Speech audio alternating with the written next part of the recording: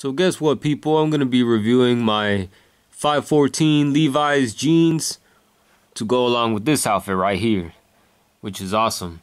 These 514s are really smooth. They feel real nice and they're green. As you can see right here, they're green. Very, very nice jeans. I personally think I should have gotten 28 instead of 29. But it still fits well. With a belt is very nice. This is how they are. Classic Levi design by the way.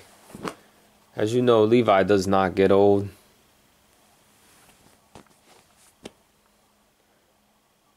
Those are my jeans right here. They have a lot of marks. And I haven't washed these at all. So I like to keep them very, very feeling like the original. They don't smell bad.